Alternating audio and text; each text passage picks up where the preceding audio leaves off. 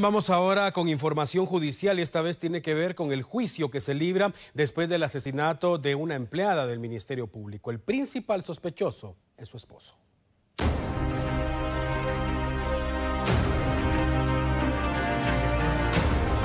En el juzgado de femicidios en la zona 10 capitalina continúa el juicio contra Jorge Rafael Sea, principal sospechoso de asesinar a su pareja Luz María López en enero de 2021. En esta jornada el juez escuchó el testimonio de tres compañeros de trabajo de Luz María. Uno de ellos aseguró que el acusado la manipulaba y controlaba de manera extrema. Además que una tía de la fallecida le contó que en una ocasión Luz trató de separarse pero este le quebró un brazo.